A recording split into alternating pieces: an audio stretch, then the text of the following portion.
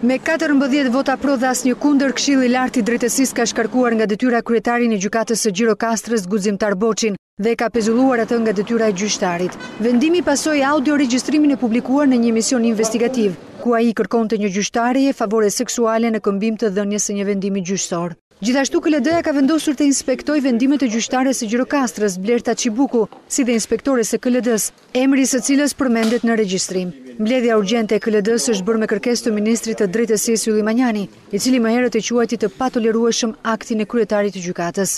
Ngjarja e gjyqtarit është e rëndë, është e turpshme, është e papranueshme për një zyrtar shteti, aq më tepër për një gjyqtar, për një kryetar gjykate, Jo ajo.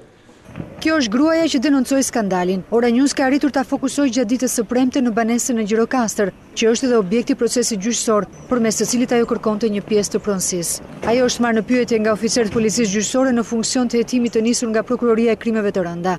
Denoncuesja mësohet se është marrë në mbrojtje nga policia, por jashtë banesës në Gjirokastër nuk ka prani të dukshme të uniformave blu.